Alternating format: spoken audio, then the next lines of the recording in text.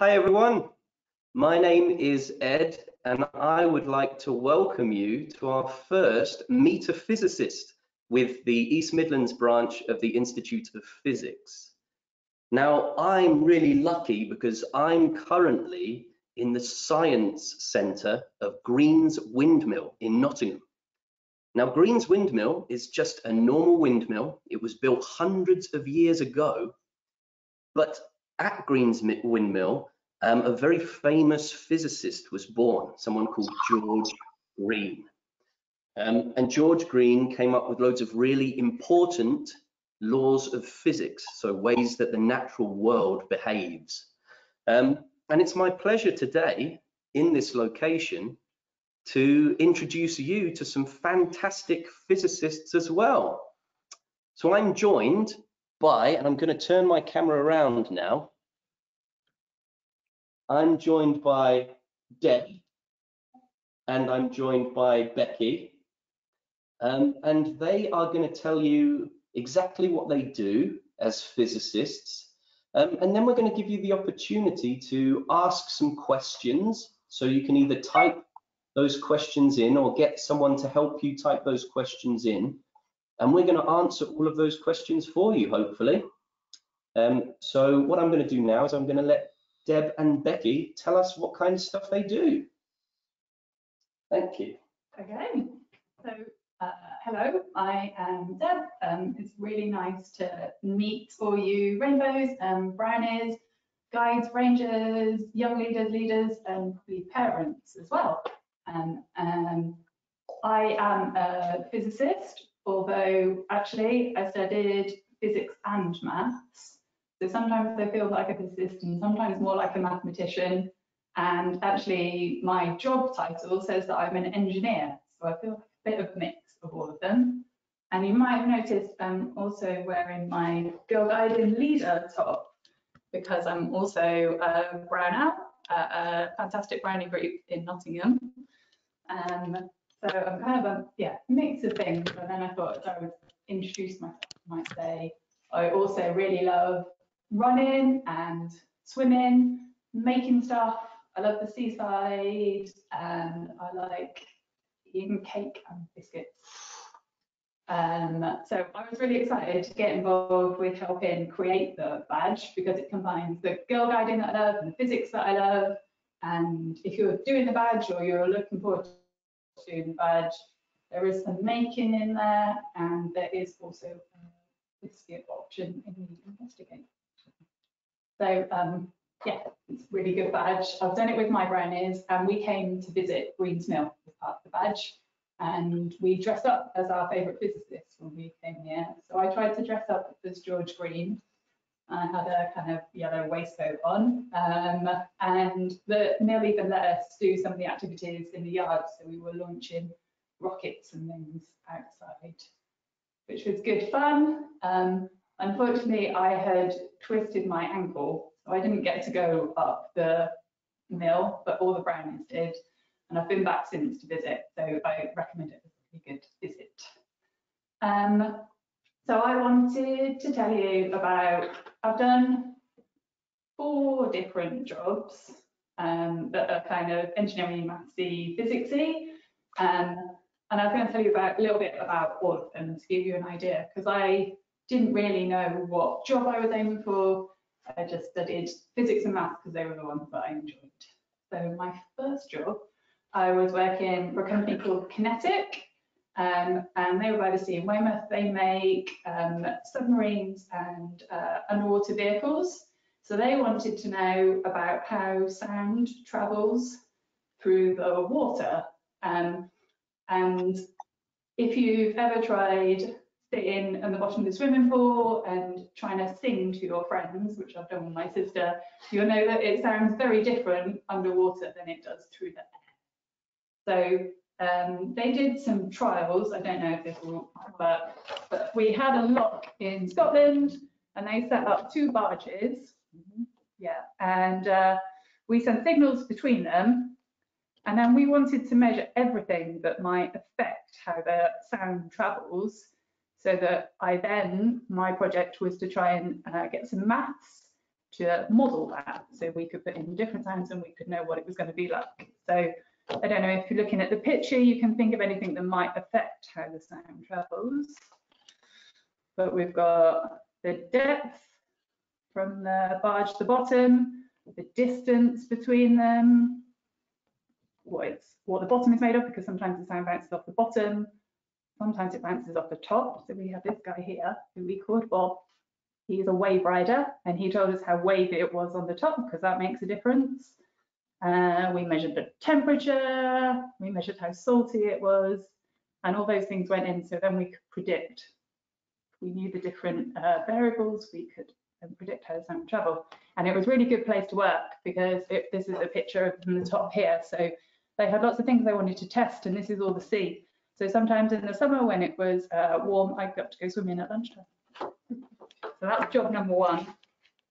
Job number two, I work for a oil logging company. So they make these really long tools that just look like long poles of um, metal. They run them off the back of a truck. So a long wire off the back of a truck. A borehole is just a big, really deep hole that they've dug in the ground. We put them down on the wire and we gradually pull it up and we're taking measurements as we pull them up. And again, we use sound for that because the sound travels differently if the rocks are full of oil or if the rocks are full of water. And we wanted to know where the oil was.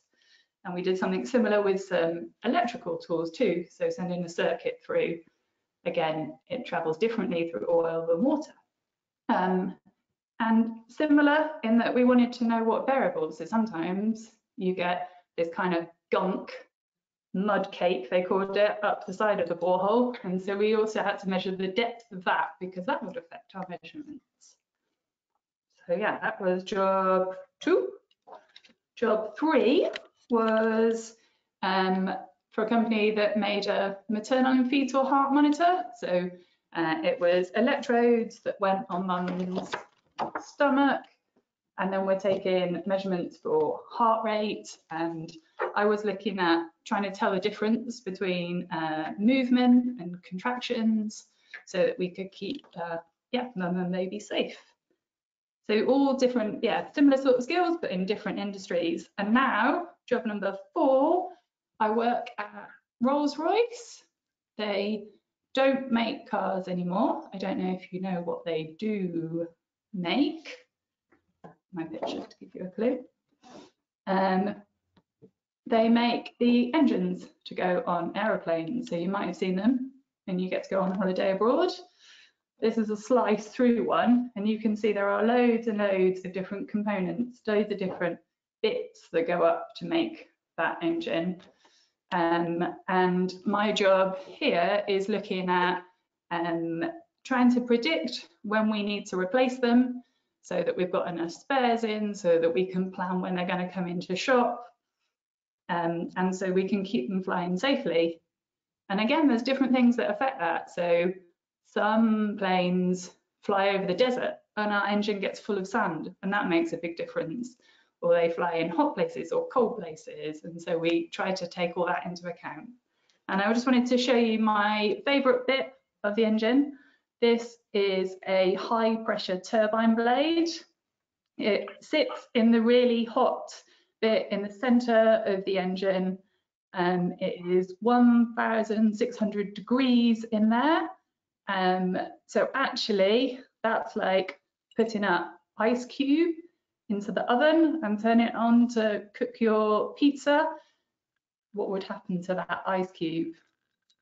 You'd expect it to melt. Probably it wouldn't stay an ice cube very long. And really, that's what should happen to this blade because it's so hot there but it doesn't melt because it's got a really clever cooling. So we've got holes that kind of go up here, flows up through the blade and comes out uh, on the surface here. Um, and also sometimes we coat them as well to keep them cool so it can do its job. Um, this blade is one of about 40. This is the bit we call the fir tree. If you see it looks a bit like a fir tree. Uh, and that slots in around a big disc and it spins round. Uh, I think it goes in every second, it would go past your nose 200 times. So that's my Wow. Wow. Thank you, Deb. That's very exciting. Um, and next we have Becky. Hello. Okay, I'm Becky, um, and I'm also a physicist, uh, but I'm a very different kind of physicist. I'm really glad I came, I went second because I can just follow the format of what you do. Um, so uh, you talked about what you did at university. I started out doing um, physics at university. I did spend quite a long time wishing I'd done maths, um, but I'm really glad now that I stuck with the physics. Um, and then uh, one of the things that I chose to do uh, towards the end of my university um, degree was that I chose to go towards medical physics. Um, so um, the first sort of project, it was it was just like a, um, a project as part of my learning at university, part of my degree um, that I did in medical physics, um, was uh, on medical modelling. So this is like trying to make mathematical models about how the body works so that we can understand in a lot more detail how the body does the things it does, which are just so amazingly complicated.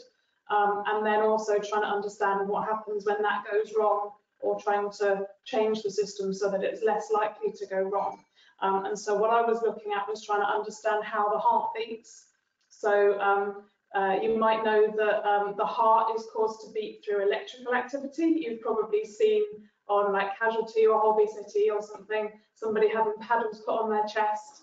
Um, that's to change the electrical activity in the heart.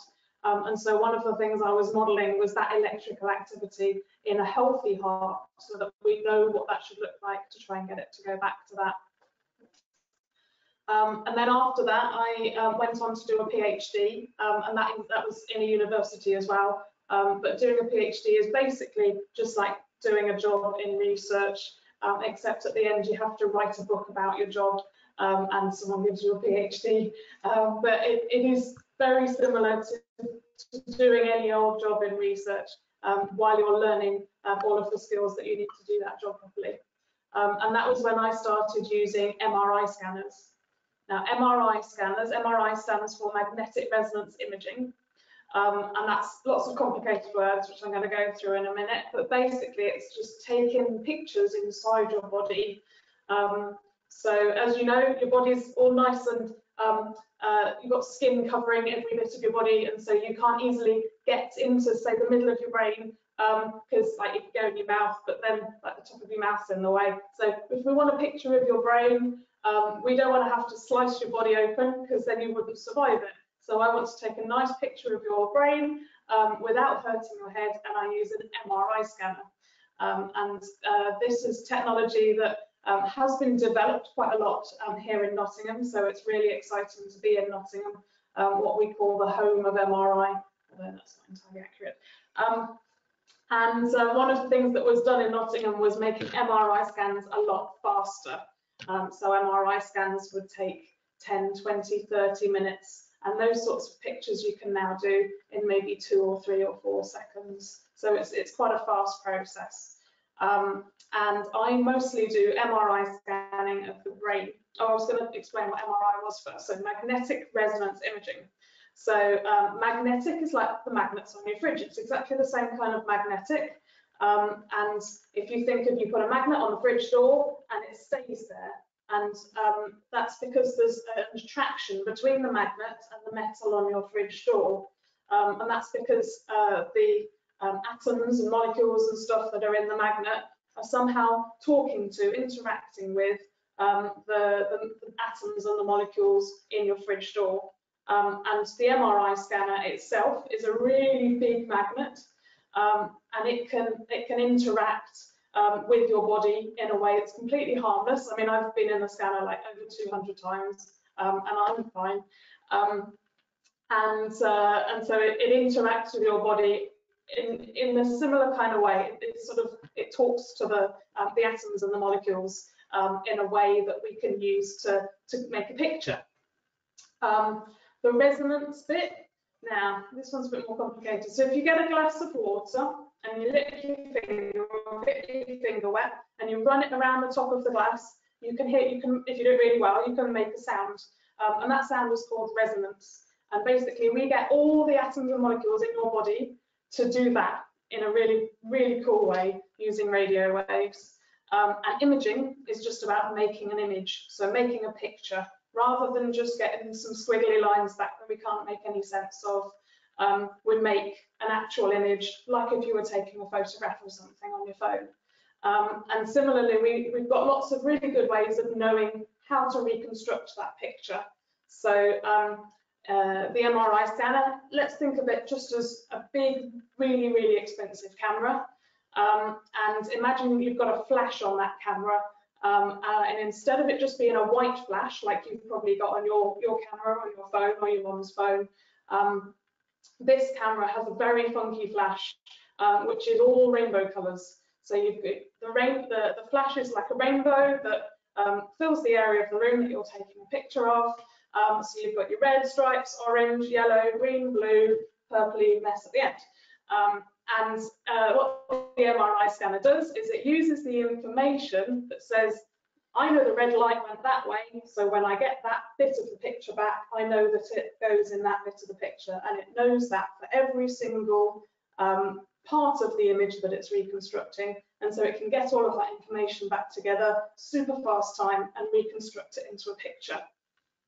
Um, and so we're using that now every single day in hospitals. MRI is a really, really important tool for working out what's going on in the body um, and uh, what potentially is going wrong with the body and how we can fix it. And really importantly, once we've tried helping um, somebody, maybe by giving um, some surgery or some medicine, doing something to make them better, we can then monitor in that person, do they continue to get better? Are they um, continuing to improve? Or do we need to give them more medicine or do something else um, to, to continue to help fixing the problem? So MRI is a really important tool because it's completely safe. It's way safer than things like X-rays and CT scans. Um, and it means that we can take lots and lots of pictures of your body um, and uh, use them to um, help us decide um, whether you're healthy or whether there's anything we can do um, to improve your health. Um, and then quite a lot of the research that I'm doing with MRI at the moment is understanding how the brain works. So you know that you've got blood being pumped around your body, um, and the main job of the blood is to take oxygen from your heart to all the parts of your body that need oxygen. Um, and your brain needs oxygen as much, as well, more oxygen, more oxygen than any other part of your body, but brain consumes a lot of the oxygen. Um, and so your blood takes the oxygen to your brain and drops off the oxygen in your brain uh, where your brain is um, being active at that point in time. So if you're listening to some sounds, then your auditory, your hearing cortex will be responding. If you're uh, moving your arms and legs around, then your motor, your movement cortex will be responding. Um, and there's lots of other different parts of the brain. So maybe if you're looking at something, some video, some visual, then your visual cortex will be responding. Um, and there's hundreds of different parts of the brain that we're trying to understand what they all do. And I can use MRI by working out, um, by uh, making, taking lots and lots of images successively um, to um, understand which parts of the brain are using up more blood. Um, so how does that work?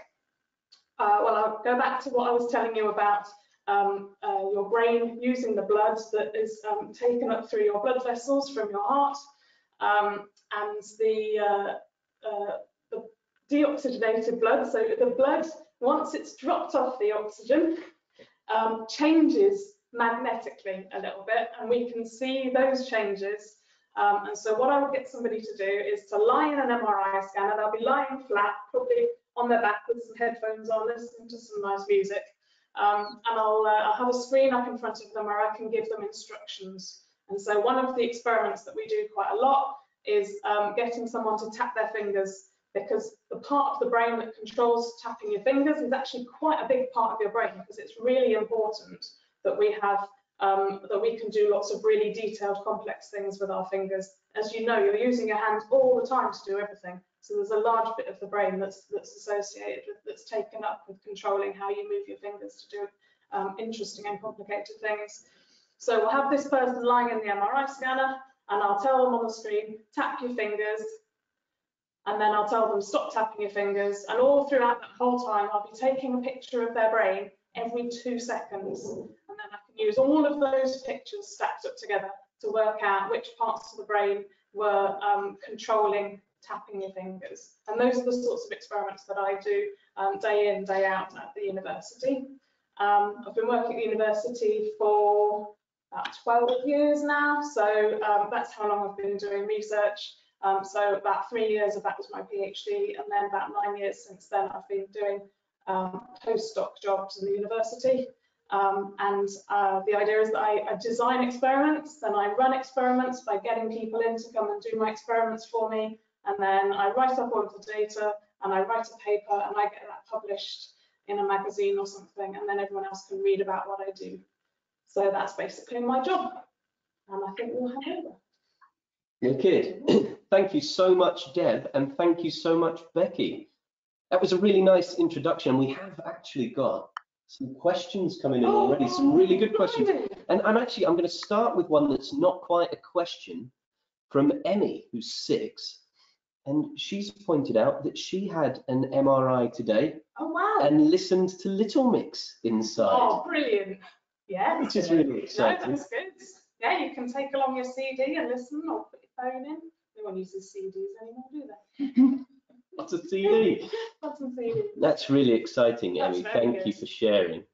Um, so we have got some questions as well, and I'm, I'm going to start with um, a, a, very, very good question, um, which is from um, Molly.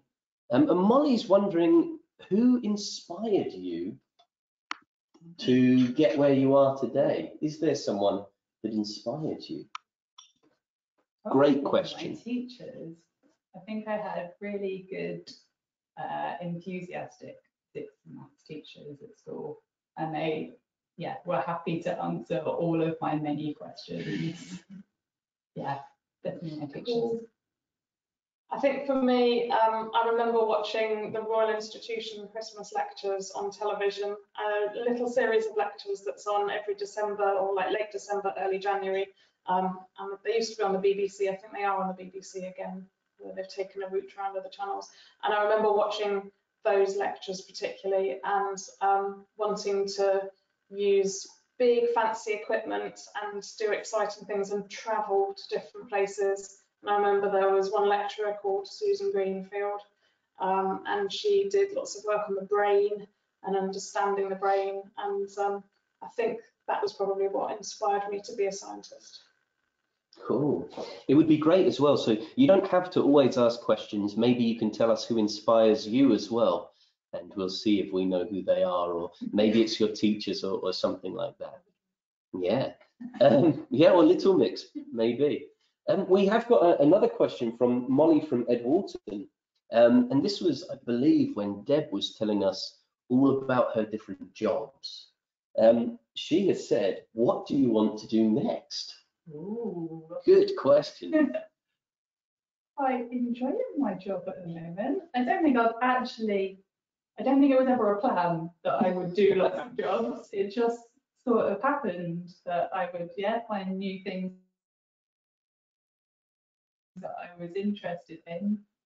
And like the first job was just while I was studying, so it was just for a year, and then I went back to study before I found another job. Um, yeah, now I'm I'm enjoying my job, so I think I'm gonna stick with that for now. Um, but yeah, it's good. I don't know. I think uh, I've enjoyed working at Rolls Royce, and particularly in the uh, group that I'm in, we get to see all different bits of the engine. So maybe just yeah, finding out a bit more um, about other bits of the engine as well.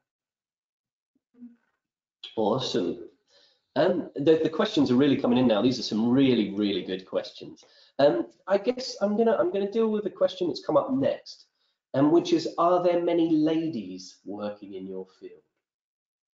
Um, my uh, specifically in my uh, group at work, there's about 20 of us, four of which are female, um, but there are lots of other females within Rolls Royce as well.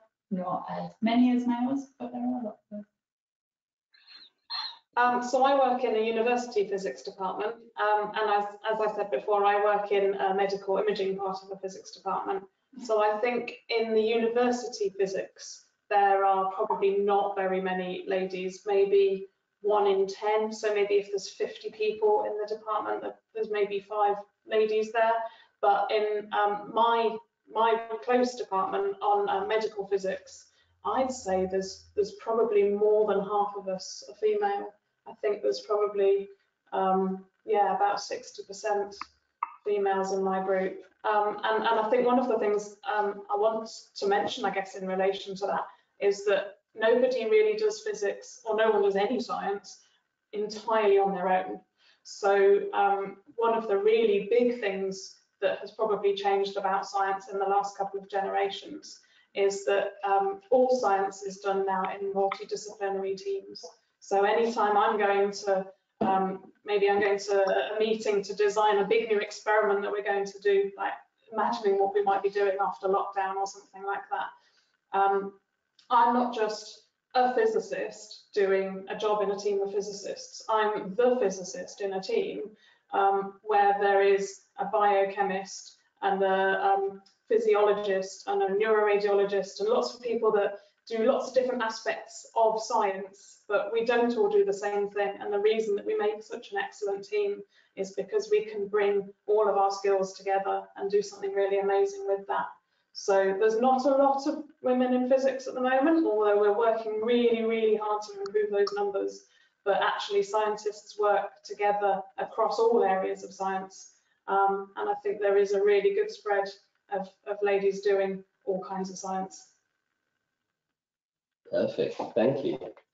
Um, the next one is, is you know, almost, I don't know whether it is the most uh, important question, do you like your job? Yeah, yeah, good. I think there are some days I might like it less, but most of the time, yes. Do like my job. I like, yeah, I like, it is good. Uh, I get to talk to lots of people in lots of different teams. Um, I get to learn lots of new things. It is challenging and I like that. Um, yes, I absolutely love my job. Um, trying to think, I think my, probably my favourite part of my job um, is uh, I get um, people from the general public. So anybody like you or your moms or your leaders or your carers, anybody from the general public to come in and take part in my experiments and help me with my science. Um, and so I, I get to put them in the MRI scanner and show them some pictures of their brain um, and that's so exciting. And, and, I have the, I actually have the time to sit there and say, this bit of your brain does that, and I'm looking at this area. Um, and that's really, really cool because everyone's really excited to see a picture of their brain. Um, and I think it's really important also to sort of understand how all the medical imaging techniques work at a time where um, you're healthy and relaxed about it. And so it's, it's super exciting to um, explain all these things to people while they're really healthy and happy to be taking part in experiments. Um, so yes, I do love my job. Perfect. And, and that was from Neve at First West Bridgford. Oh, so I thought that, that was worth a shout out as well for that great question. um, do you think if you didn't like your job, so you've had four jobs, Deb. Yeah. If you didn't like your job, would you do it? um, if I didn't like my job, I think I'd find a different job that I did like more Yeah. maybe. Good. Um, so I've, got a really good question here as well. And I I don't know whether this one is mainly to Becky because you've talked a lot about it, but actually it would be great to hear if everyone has a favourite part of the brain. Oh, brain? Oh, I don't know. Um, I think rather than have a favourite part of the brain, I think I've got a favourite fact about the brain, I guess, which is a little bit like, well, you'll see, you'll see how this will work. So the brain is really organized.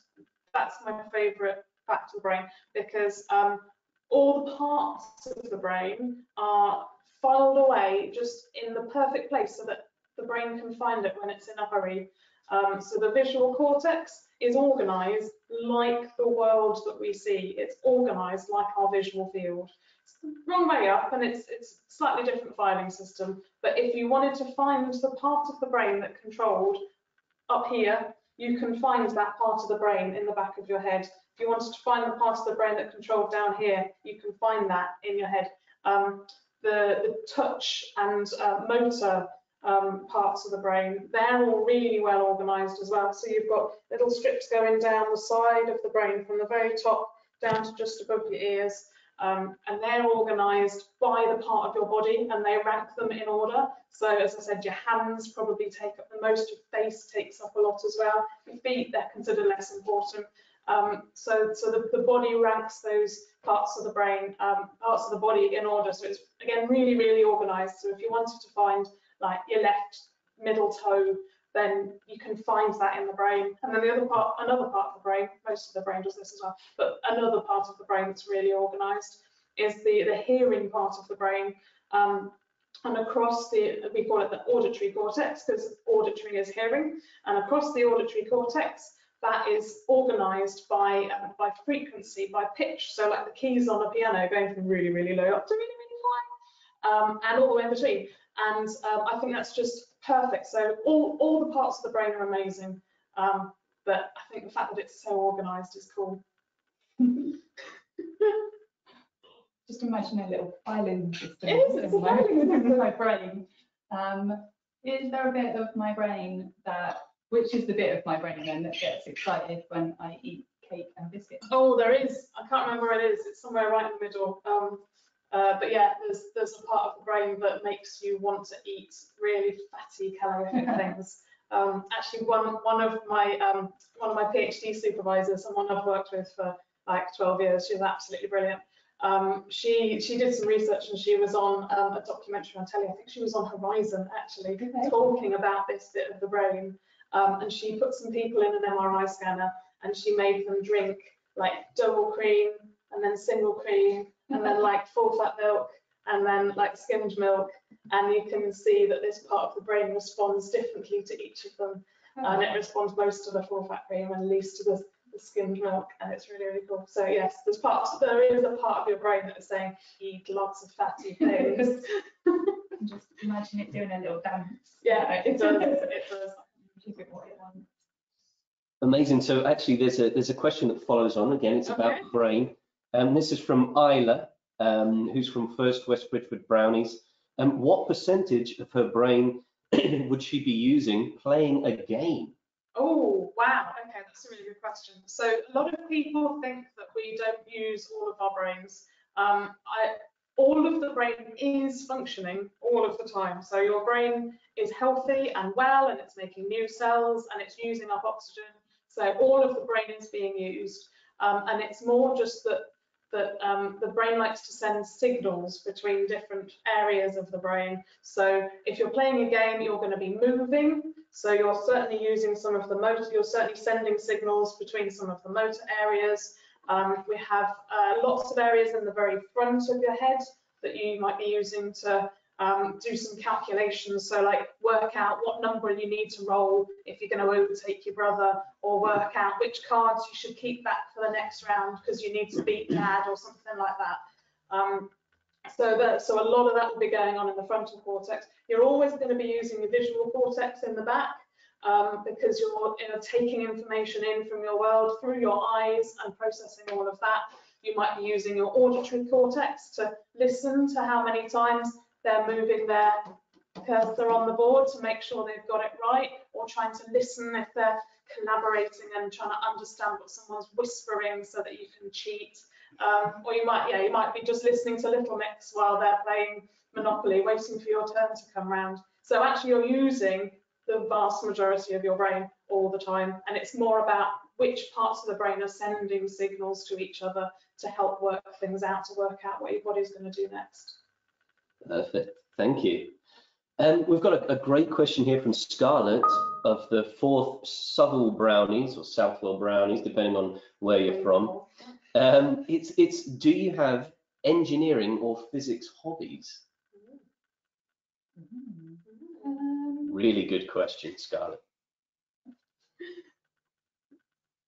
Well, so I guess it was sort of a hobby in getting involved in setting up the badge and doing some of the outreach we do with the institute visits. Um, I love going and chatting to the different groups and um, setting up some, getting some science into some of my brownie activities as well. Yeah. Yeah, Fridays is my hobby, so I get really sneak it in there. I was, yeah, I was going to go down the outreach route because I spend a lot of my spare time just talking about all of the science that I do. Um, so I, there's a thing called Skeptics in the Pub or um, PubhD. So there's lots of things where we, we can meet up and talk about all the different areas of science that everybody works in. Um, I do a bit of work with um, uh, people making policy, so like the government and trying to help them um, understand some of the research that we do. Um, I do a lot of work going into schools um, and talking, just like we are now, about different um, aspects of science and physics. Uh, so I guess I do a lot of a lot of science, a lot of physics in my spare time, um, rather than as a hobby. It is a hobby. But also It's a lot. visiting, uh, like visiting sciencey places. Oh For yeah. my own benefit, Yeah. I learn new stuff. Yeah, like I've come here for a day out. I bring friends when they're travelling to Nottingham and go, look to look at this cool place that's going here tomorrow morning. And yeah, we'll have a look around. I would say as well, it's definitely engineering and chemistry making a cake. Making a cake, you're doing some baking. Yes, and a bit of magic. Um, so the questions are really coming in now. Um, we've got a really good one here. How many people does it take to make an aeroplane engine? And that's from Neve, again from Wow. First West Bridgford. I'm gonna be honest, we don't actually know, but there's a lot of people who are designing it. So there's a lot of people, I don't know if you just mean the building it, the fitting it all together. Um, but there are a lot of people who get involved before that to design it, to make sure that it's gonna last as long as you want it to and at the temperatures you want it to. And then we've got to build it, we've got to test it. Um, I don't know how many people, lots of people. And the time it takes, you will have, some people will have worked on this bit and then it will get shipped and then this bit and this bit will get put together. Um, and some of the biggest ones, actually, we have to split in half to get it on the plane to transport it to the customer. So they're, they are big. Hmm, very big. And actually, this is something quite nice to point out, is that as a scientist, we don't always know the answers. No, In fact, it's it, we, we we wouldn't be very good scientists if every question had already been answered. So we won't always know the answers, I'm afraid, but we can try, can't we? Um, so we've got uh, a, a nice question here. So this is from Emmy. Um, what is your favourite fun experiment? And these are the ones in the pack. So the the brownie batch pack. okay. It's a great question. trying to pick my favourite. Um, I've still got my tame tornado set up at home. So that's the one where you've got two bottles kind of stuck together and you're trying to make the water go from one to the other as quickly as possible. So you've got water in one and air in the other, then you tip it up. And the quickest way to do it is to give it a swirl. Oh, Love doing that one. I've got two favourites for different reasons. All right, my favourite one is um, is fizzy rockets. Um, so that's where you get um, like a fizzy effervescent vitamin C tablet, something like that, um, and you crush it into powder and you put it in a little jar and put some water on top of that, and then um, put a really airtight lid on it, and then um, put it down and stand well back, um, and then for uh, an unknown period of time, you can just stare at it and hope that it'll explode. And then it'll go pop and fly really high into the air. And it's really fun. And I really like that nobody knows quite how long it's going to take because it all depends um, on how finely you ground up the, um, uh, the tablet and how much of the tablet you've got in there.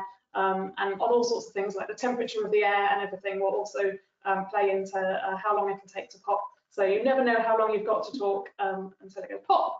That's my favourite. wicked. Really high. they go really high. Yes, we did them in, in, in the NEC, which is like a really big um, like conference centre, like, I don't know, 30 metre ceiling or something, um, and they, they got fairly high, fairly near the ceiling. Great stuff. Um, a question here, how old were you when you first knew you wanted to be a scientist? And uh, under, is that professional scientists? Would you say that you're scientists as soon as, Well, yes, that's a good philosophical question, yes. How old were you when you wanted to know? So when you, when you knew you wanted to be? So yeah, that's, that has an absolute answer to it. Do you want but me to that's still, first? yeah, yeah, that still you. Okay. So um, I think, I think, yeah, going back to when I was watching the Royal Institution Christmas lectures, um, I was probably about eight, nine, ten, something like that. But the sort of science that I wanted to do um, changed like every couple of years. Like I'd, I'd find out about a new science and go, oh, this is the most exciting thing in the world. I want to do this. Um, and then some other new science would come out and I go, no, no, no, this is the most exciting thing I want in the world. I want to do this. Um, but I think anyone who does some science is a scientist. So if you've done your um, I'm a physicist badge, then while you're doing that badge, you're a physicist. Yeah, I don't have, I don't know what age, I don't think it was ever a plan, though, it just, it just sort of happened. Actually, I know my mum said that when I was probably about five, I actually wanted to be a lollipop lady or a traffic warden, because the one I knew also helped people across the road. So maybe not then, I didn't think about being a scientist, but I don't know. Perfect. Um, so we've got some more technical questions about the brain coming Oh, in. Seems everyone's quite excited about the brain. Um, we've got Loxley um, from the 10th Mansfield Brownies um, asking very technical questions. Are surgeons able to fix any hearing problems using an MRI as a map? Oh, that's really interesting. Okay, so I'm going to unpick that to quite a few questions actually. So as a whole, your question, yes, really.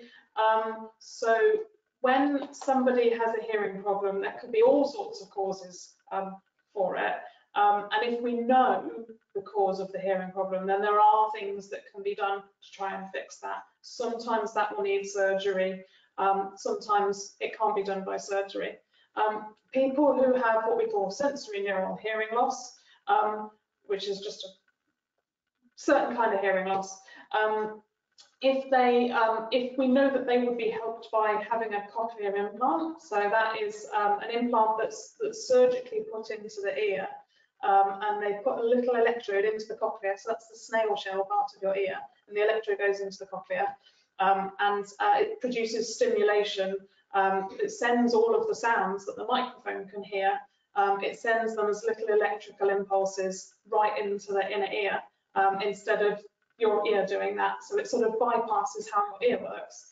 Um, and they use an MRI scan to plan how they're going to do that surgery. So everyone's everyone is everyone's ear is very slightly different. They've got slightly different angles, slightly different arrangements, slightly different um, distances between things. So they will always use an MRI scan to plan how they're going to do that surgery because the, the device they put in is pretty much the same for everyone. So they need to be able to customize how they're going to do that.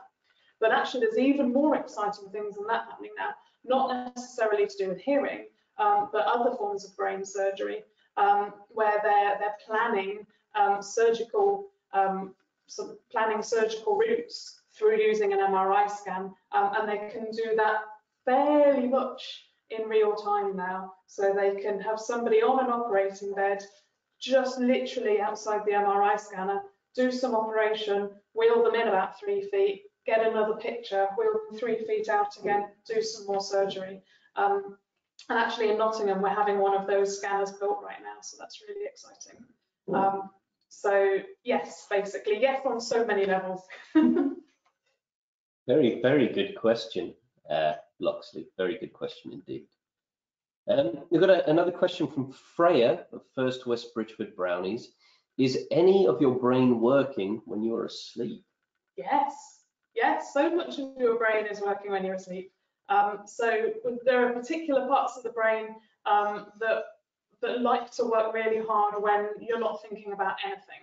So they help you um, kind of process, I guess, what you've been going through in the day. We're not we're not really sure why they do what they do. Again, this going back to what Ed just said about scientists don't know everything. We certainly don't know everything, and we know that there's loads of things about the brain that we don't know. Um, and we don't really, really know um, why the brain is so active when you're not thinking about anything. Um, but then also during sleep, when you're dreaming, all those sorts of things, your brain will be working um, to a certain extent as much as if you were awake. Cool. I find if I try not to think of something, I always think of really weird things. Like dream, yeah, like when I'm having a dream or something. Um, we've got a, a question from Scarlett, and just to follow on the, the questions about um, about the brain. Is there a scientific name for the brain?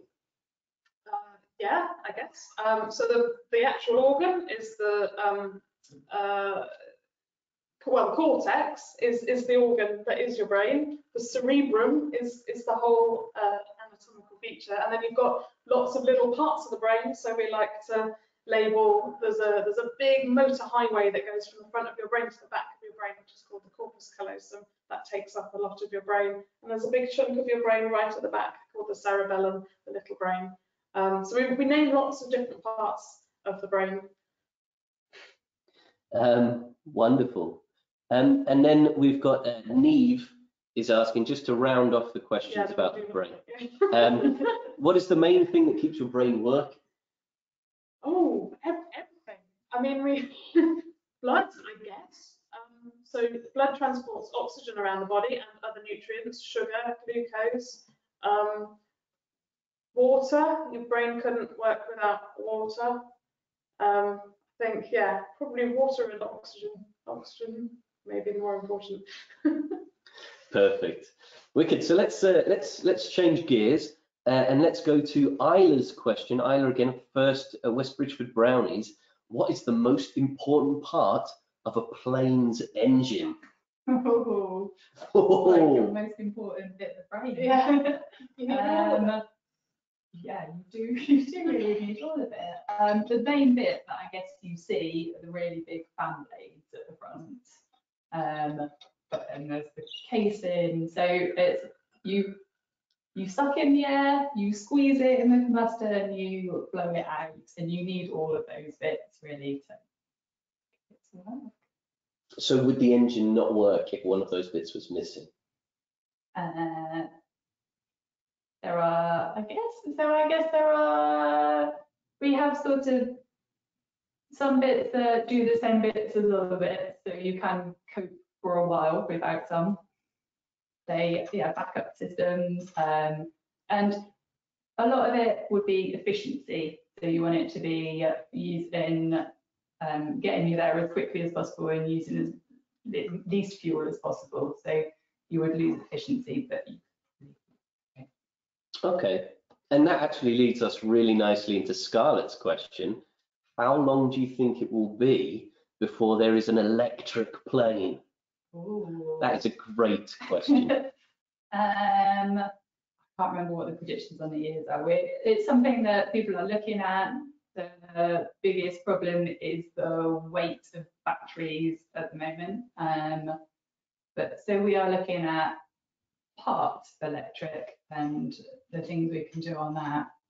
So it is something we're working on. Don't know how long. Okay. Okay, fantastic. Um, so thinking about as physicists, as you as physicists, um, did you like physics at school?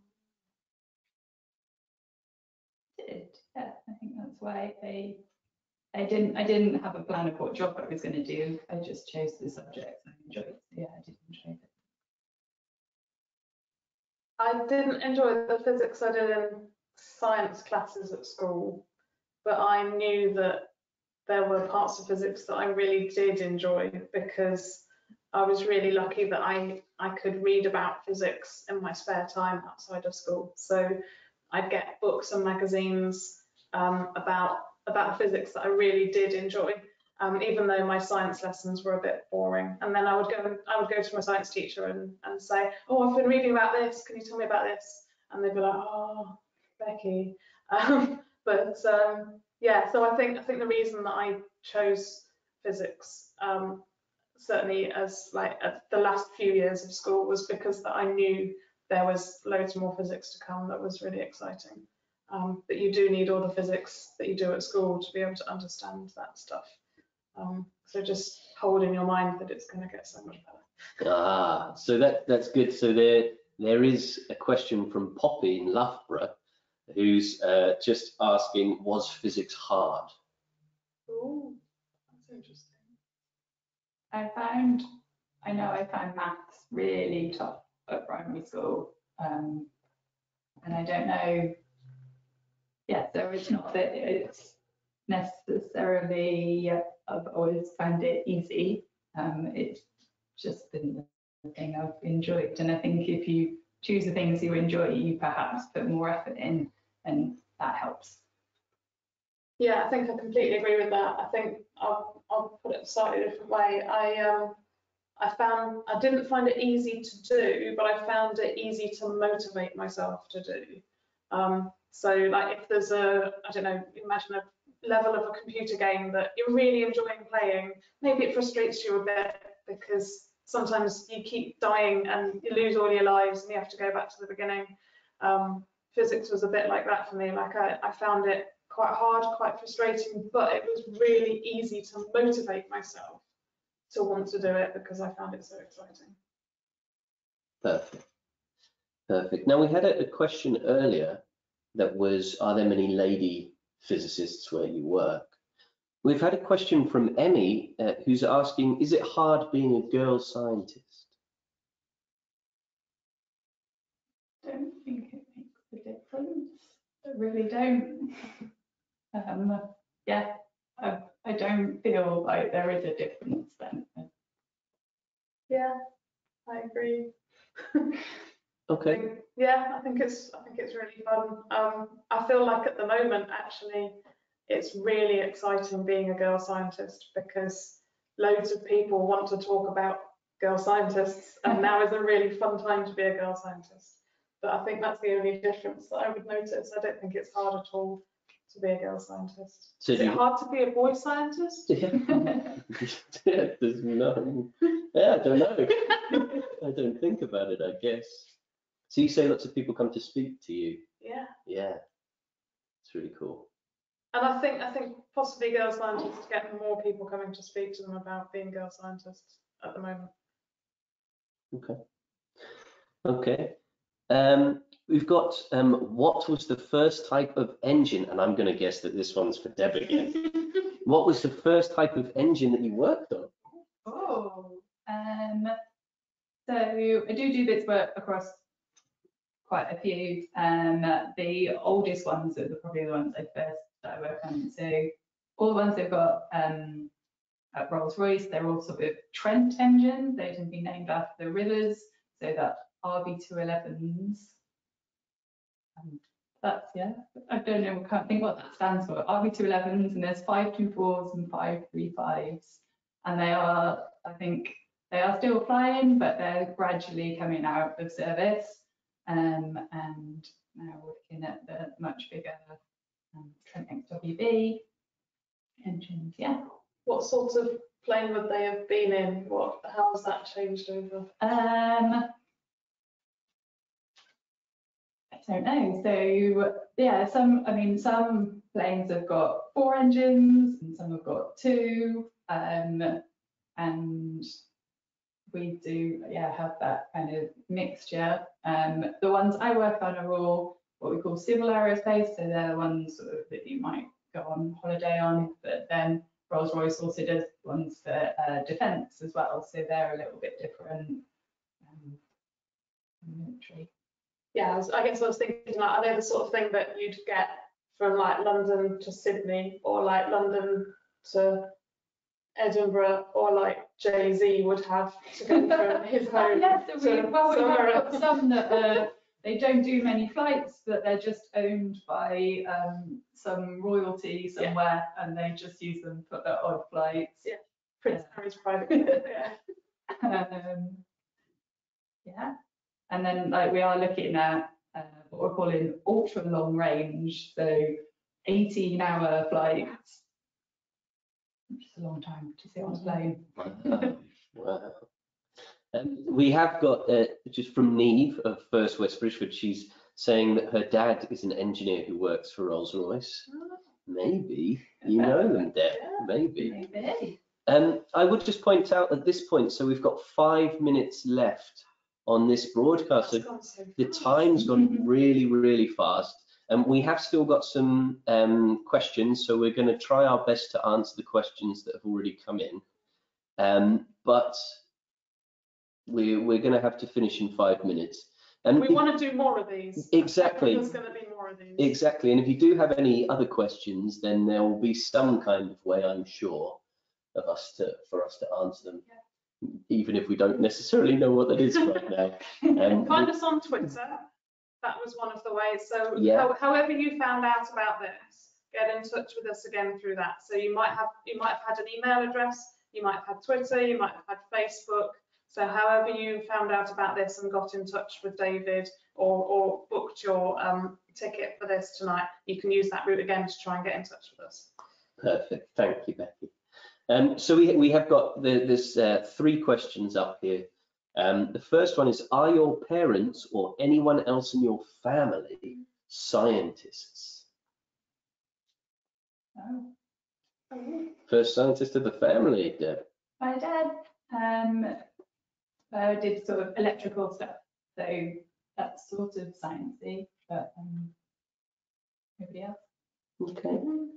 Yeah, I'm afraid I've, I've had lots of scientists in my family. My, my grandpa um, did lots of work on x-rays, so he was in medical physics, although I didn't actually know that when I chose to do medical physics, which is always a joke.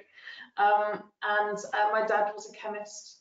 Um, so yes, lots of science in my family. Wicked. Um, uh, and another question, if you weren't a physicist, is there any other scientific or engineering jobs that you would like to do? And does it does it does it have to be um, just um, a scientific or engineering job? Maybe are there any other jobs full stop that you might like to do? I'd like to make my uh, lollipop lady dreams come true. Yeah. So that's in the plan. Um, I don't know, it's such a mixture and I, have sort of chosen different jobs. I don't necessarily, I feel that, oh, this is a physics job or that's a engineering job. That's not I like to work on. I am interested in the kind of medical and the stuff that helps people then. I think you can, that you can see being used. I think that's what attracted me to it.